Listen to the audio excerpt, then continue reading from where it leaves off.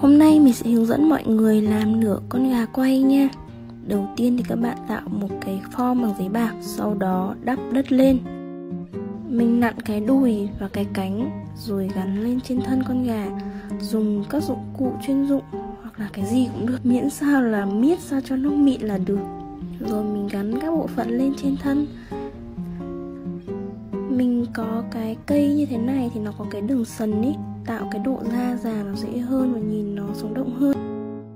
Tiếp đến là mình tô màu phần tiên lên. Các bạn cạo một cục phần tiên nó thành bột đi, lúc tô nó sẽ dễ hơn. Và dùng cọ đầu to để tô màu, thì màu nó sẽ đều hơn trên cân con gà. Sau đó mình dùng cọ nhỏ để đi chi tiết các vết cháy của con gà đấy. Bây giờ đến trang trí cái đĩa. Tạo các cái lá bằng cái khuôn như thế này, xong rồi trang trí xuống đĩa thôi. Nhanh và đơn giản.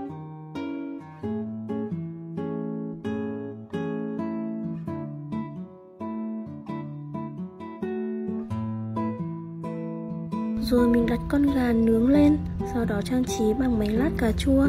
Nhìn là cũng sẽ ok hơn. Rồi rắc thêm một ít cái bột kiểu hạt tiêu với mấy cái rau rau ngò.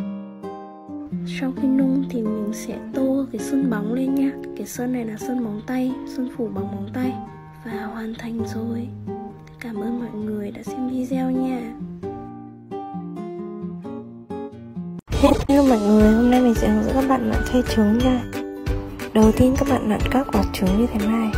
Các bạn nên pha màu cho nó khác nhau Nhìn nó sẽ thật và đa dạng hơn. Sau khi làm xong thì mình cho đi nung Sau đó mình làm sang cái khay đựng trứng. Cái khay này là khay mình tự làm bằng đất sét nung. Xong mình lấy cái đất sét giấy Cán mỏng ra Rồi dùng khuôn để cắt Sau đó cho vào cái khuôn để ấn mình dùng cái đất sét giấy này thì khi thành cái khay ấy, nó sẽ nhẹ và nó phù hợp để đựng trứng hơn. Mình cho cái đất sét vào trong khuôn rồi ấn lại nén chặt xuống sau đó tháo ra sấy bằng máy kho nhiệt nha mọi người.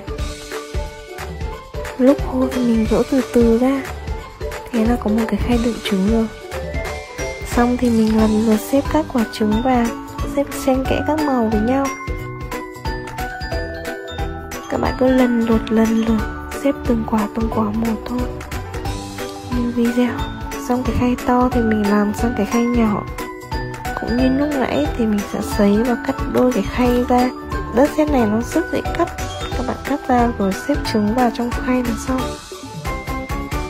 cũng xếp lần lượt các quả trứng vào thôi, xếp xen kẽ các màu với nhau nhìn nó sẽ bắt mắt hơn là một màu, đúng không? Và thế là hoàn thành rồi.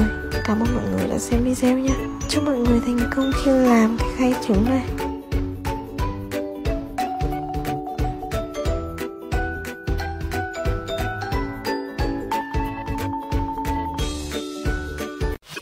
Hello mọi người nha. Hôm nay tiếp tục series gấp hộp. Mình gấp hộp Oreo mini màu xanh này. Đầu tiên các bạn kẻ và cắt theo cái đường mà có sẵn của cái bản in. Sau đó các bạn gấp lại rồi dán keo. Mình có bán cái bản in như thế này để cho các bạn nào có đam mê muốn tự gập thì có thể mua về để, để tự gập tại nhà. Đó là mình dán hai đầu lại. Thế là họ đã hoàn thành cái hộp Oreo mini rồi. Cảm ơn mọi người đã xem nha.